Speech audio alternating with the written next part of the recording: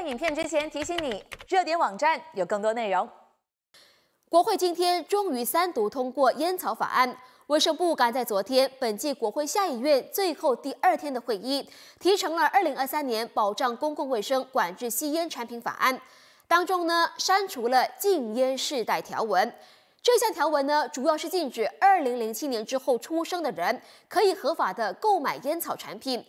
对于政府多次表明禁烟世代条文已经抵触联邦宪法，公正党巴西古当国会议员哈山卡林就提醒卫生部长扎里哈。卫生部不应该单凭总检察长的建议就撤回禁烟世代政策，这项政策是否违宪，应该交由法庭来裁定。哈山卡林就说，总检察长虽然是政府的法律顾问，但却不具有立法的职能。那反之，法律是由国会议员来制定。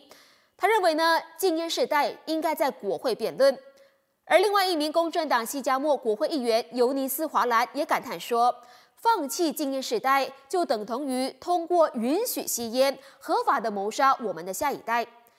另外呢，身为国会卫生特别遴选委员会成员的一党瓜拉冷月国会议员阿莫尤努茨，他则抨击说，从六月开始，有关遴选委员会就已经针对这项法案召开了十一次的会议，但都没有发现到任何足以导致禁烟世代违宪的严重问题。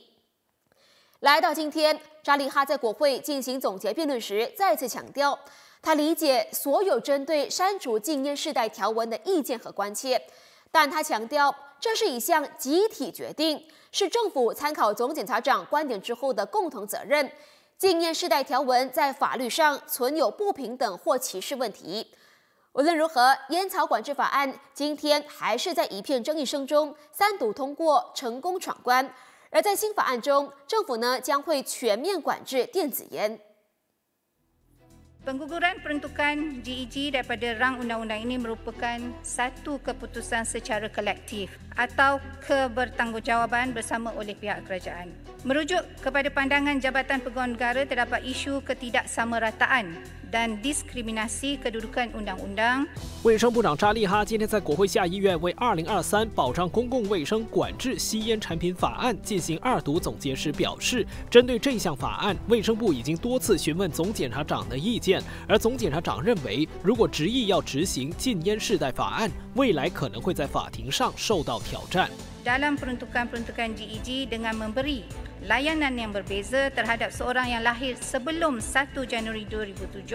berbanding dengan layanan terhadap orang yang lahir selepas 1 Januari 2007. Oleh itu, pihak Jabatan Peguam Negara mempunyai pandangan bahawa peruntukan ini boleh dicabar di mahkamah kerana bercanggah dengan perkara 8 Perlembagaan Persekutuan. 虽然删除了禁烟世代，但是扎利哈表示，卫生部会继续探讨是否有必要恢复禁烟世代条文。如果有必要，政府将会重提禁烟世代课题。他重申，现在当务之急是确保我国拥有独立且全面的法令，以监管电子烟、烟草产品、香烟成分或替代烟草等产品，以解决电子烟或电子烟的使用问题。